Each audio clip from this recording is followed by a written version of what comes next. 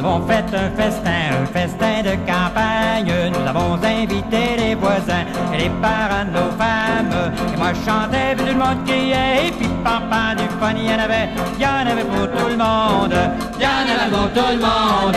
Et quand ça vient vers les minuit, nous décorons les tables avec des fleurs, des pissenlits et des feuilles de rhubarbe. Et moi je chantais, puis tout le monde criait. Et puis papa du fun, il y en avait, il y en avait pour tout le monde.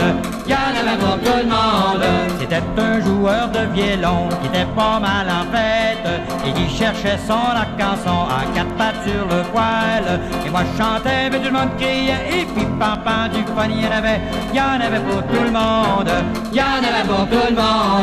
La maîtresse de la maison, elle s'appelle Joséphine. Elle composa et cette chanson, et puis de papa turlure. Tout le monde chantait, tout le monde criait, et puis papa du fun, il y en avait, il y en avait pour tout le monde, il y en avait pour tout le monde. Le compositeur de cette chanson n'est pas bien loin de vous autres. Vous n'avez qu'à lui passer le flacon et vous en tirera une autre. Moi je chantais, mais tout le monde criait, et puis papa du fun, il y en avait, il y en avait pour tout le monde, il y en avait pour tout le monde, y en avait pour tout le monde, y en avait pour tout le monde.